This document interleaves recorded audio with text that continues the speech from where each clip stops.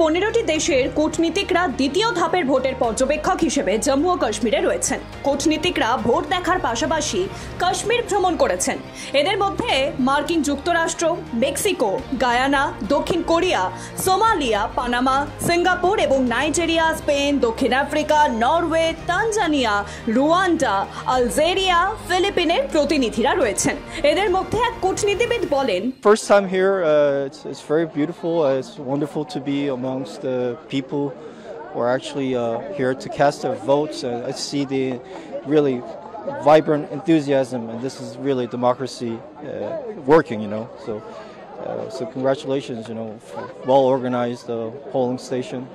And I, especially, I was uh, happy to see little kids with their parents. You know, the kids are here, even though you know they, they can't vote, but I think they're here to learn from their parents, right?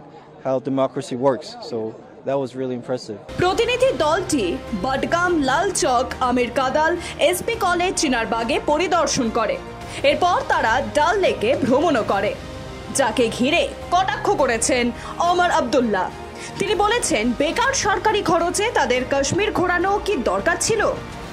কিন্তু প্রশ্ন হচ্ছে, বিদেশি প্রতিনিধিরা কাশ্মীরে এলে ওমর আব্দুল্লাহর এত কষ্ট হচ্ছে কেন? কোনো কিছু কি লুকোতে সমস্যা হচ্ছে তার समझ में नहीं आता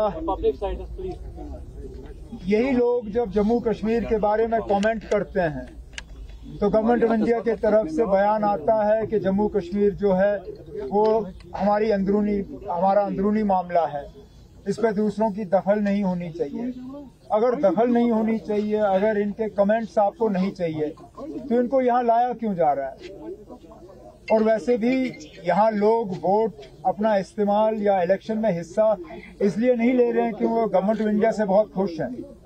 गवर्नमेंट ऑफ़ इंडिया की तमाम कोशिशों के बावजूद लोग यहाँ इलेक्शन में हिस्सा ले रहे हैं। नहीं तो यहाँ लोगों को तंग करने में, सताने में, परेशान करने में पिछले छह सात साल से हुकूमत ने कोई कसर बाकी नहीं रखी है।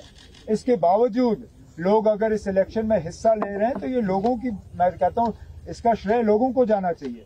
लेकिन गवर्नमेंट ऑफ़ इंडिया कोशिश कर रही है कि इसका सारा क्रेडिट गवर्नमेंट ऑफ़ इंडिया को मिले, जो कि यहाँ के लोगों के साथ धोखा है। और अगर बाहर के डिप्लोमेट्स को लाया जा सकता है तो मुझे ये बताएँ ना, बाहर के जर्नलिस्ट को इजाज़त क्यों नहीं दी जा रही है?